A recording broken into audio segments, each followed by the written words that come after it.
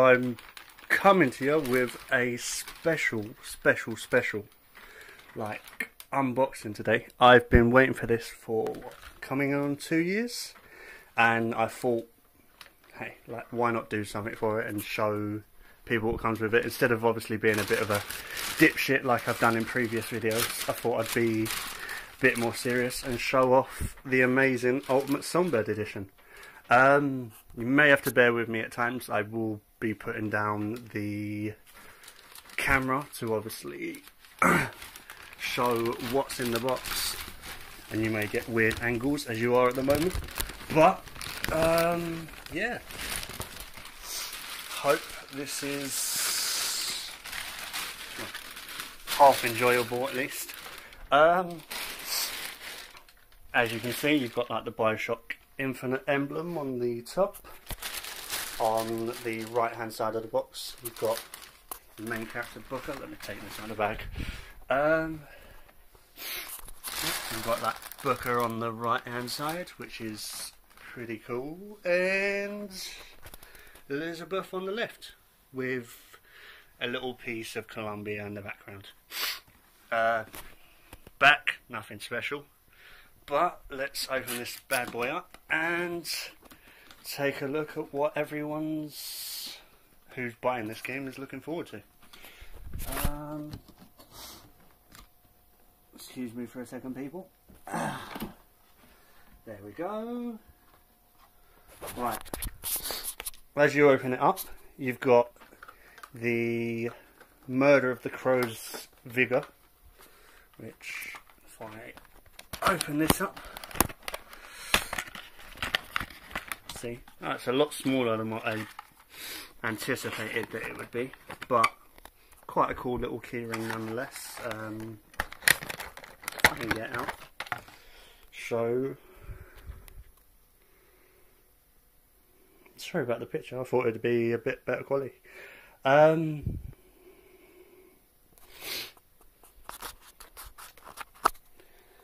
go. Murder of the Crows Vigor, which is pretty cool as a keyring. Uh, put that back in there. Yeah, put that aside. Uh, and here is the Handyman game piece for the upcoming Bioshock Infinite board game that's coming out, which is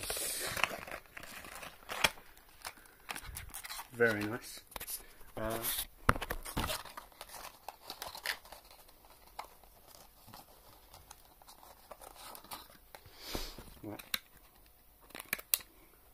pull this out, show you, it's only a tiny little thing, but it's fairly detailed for what it is. I'm really sorry about this picture. I actually thought it would be a bit better quality than this. But you can see the little handyman. Very cool. Oh, there we go. It's actually focusing. Um, yeah, quite a nice little piece for someone if they're going to get the board game. So it's pretty cool. And then obviously, yeah. Uh, stuff that back in the box. Quite nice that everything's like boxed and whatever else. Then, obviously, we've got the game, the part that no one really wants to miss out on.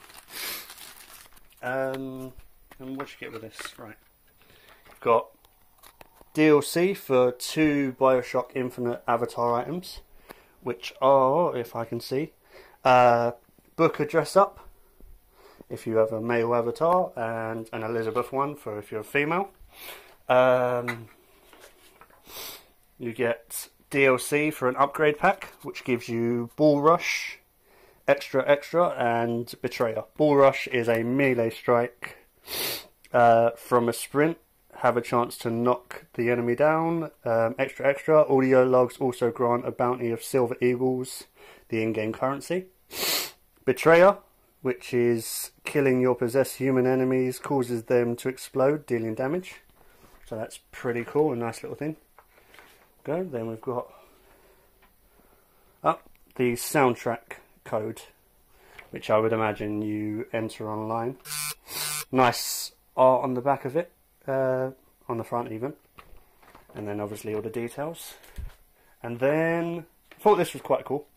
You get like the lithograph print of the Devil's Kiss, which is quite nice. It's only a flimsy bit of card, but still pretty cool. You've got like Fink FM, MFG on the bottom, and then you've got like the devil and the man carrying him on his shoulders.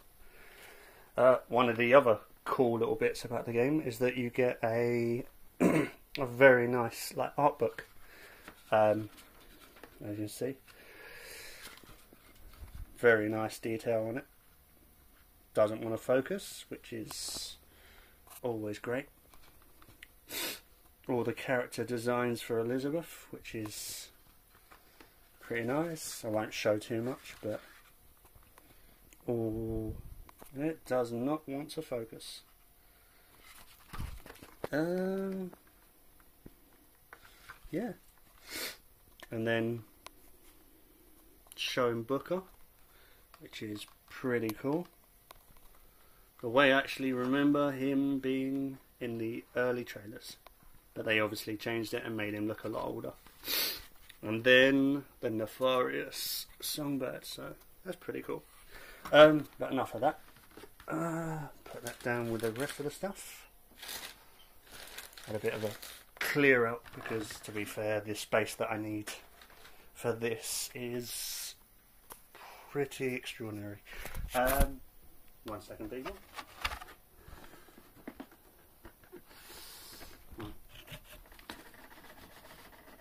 Very, very carefully ease it out of the box.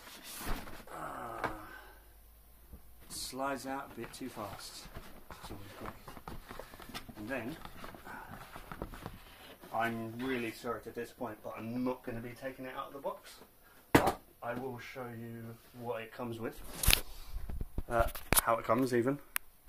We've got Songbird saying about how it's the protector of the city, the Sentinel. Got